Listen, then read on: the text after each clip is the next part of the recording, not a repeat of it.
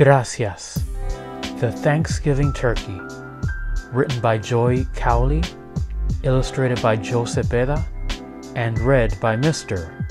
Alicea. My dad sent me a present, Miguel told everyone at school. I'm going with my grandmother to the train station to pick it up. That's exciting, Miguel, said his teacher. Do you know what it is?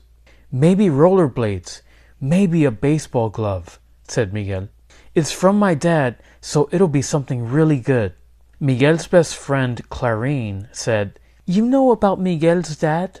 He has a big red and silver truck with 18 wheels, and he drives across the country in it. Abuela and Tia Rosa went to the train station with Miguel. There was a large box with holes in it. Through one of the holes poked a head with a beak and eyes. It's a bird, cried Miguel. On top of the box was a message Fatten this turkey for Thanksgiving. I'll be home to share it with you. Love from Papa. When Miguel's grandfather saw the turkey, he said, Where can we put a turkey? A New York City apartment is not a farm. Que problema, said Tia Rosa.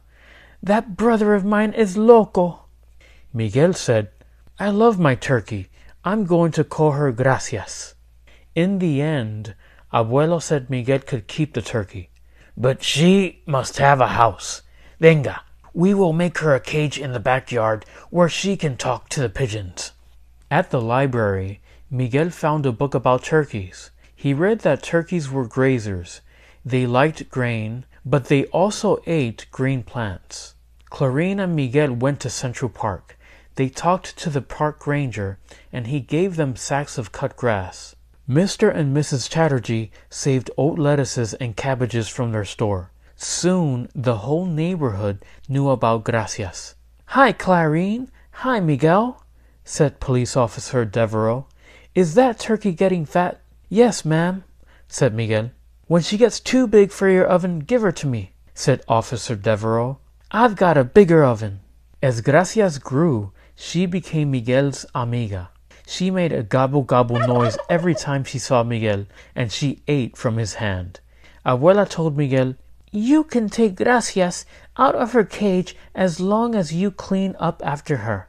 Miguel wanted to take his turkey out for a walk in the street. Abuelo made a ring to fit on the bird's leg, and he tied a cord to that ring.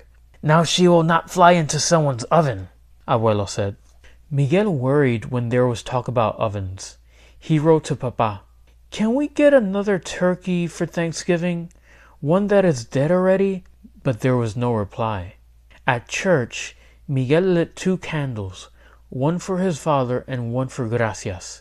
Please, Senor, he prayed, keep them safe. Tia Rosa also lit a candle. Pobre niño, she said. The leaves fell from the trees. The weather grew cold. Abuela made a cover for the cage.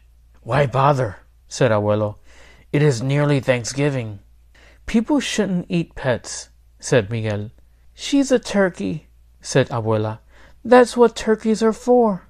We're amigos, cried Miguel. I love her. I told you it would be a problem, said Tia Rosa. On Saturday afternoon, Clarine came over to watch football with Miguel. Suddenly there was a noise, louder than the television. Miguel jumped up. Gracias! The kids ran outside. The cage was empty. A boy was running down the street, the big turkey flapping under his arm. Gracias! yelled Miguel. You bring that turkey back, shouted Clarine. Everyone helped Miguel and Clarine look for Gracias, but no one could find as much as a feather. Mrs. Chatterjee said, how could someone steal your turkey? That's terrible. No worries, said Mr. Chatterjee. I have frozen turkeys in the shop. I give you one for free. Miguel shook his head and began to cry. Let's go home, said Clarine, holding his hand. That night there was a knock on the door. Officer Devereaux held a bag that shook and went gobble gobble. Gracias, yelled Miguel. I found this turkey in a no parking zone said Officer Devereaux. I had to arrest her. Miguel took Gracias and hugged her. Officer Devereaux said, If I were you, I wouldn't leave a fat turkey in your yard. This time she got away. Next time she's gravy. Yes, ma'am, said Miguel. Abuela said Gracias could stay in the bathroom. You have to clean out her cage every day. Abuelo said, I have to shower with a turkey? Ay, ay, ay. Miguel moved the cage to the bathroom and put a holy medal in it. So nothing bad happens to you, mi amiga, he said. The next morning, Miguel was playing outside with Gracias when it was time to go to Mass. Get your jacket, said Abuela. I will put the bird away. Hurry, hurry, we'll be late for la misa.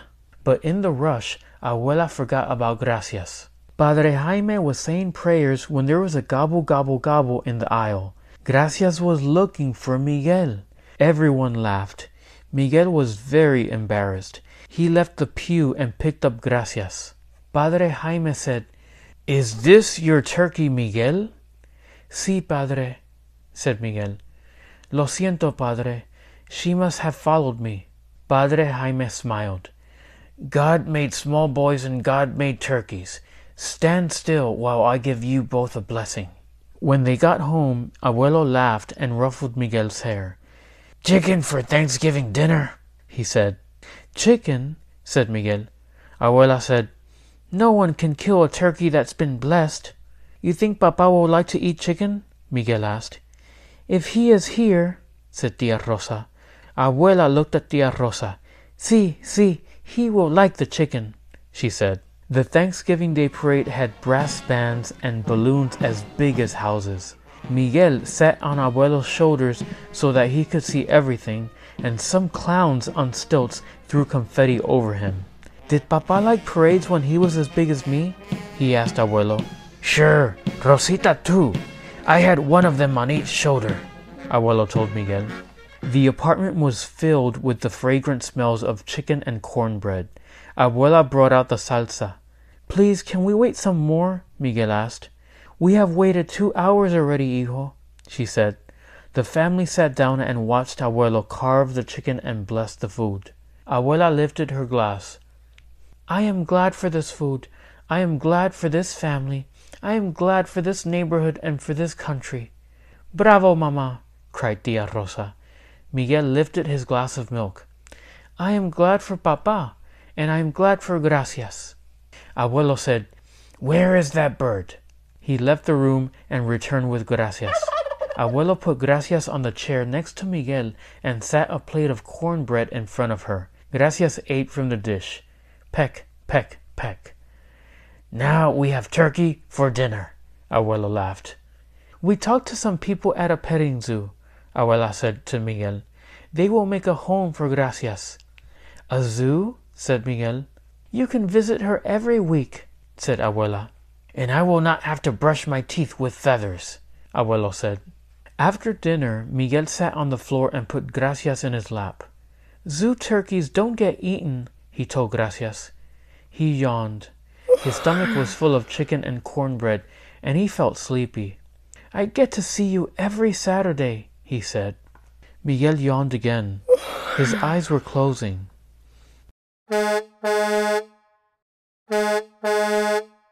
Gracias flew out squawking in fright.